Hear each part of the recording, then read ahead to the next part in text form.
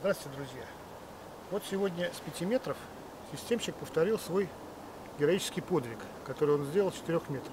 То есть бросил два ножа и между ними третий. Как видите, случайность, конечно, но случайность часто повторяющаяся. Это уже закономерность. Вот. Мы уже говорили, что такие случаи не редкость. Вот еще одно подтверждение. Но там было с 4 метров, а теперь та же самая картинка с 5 метров.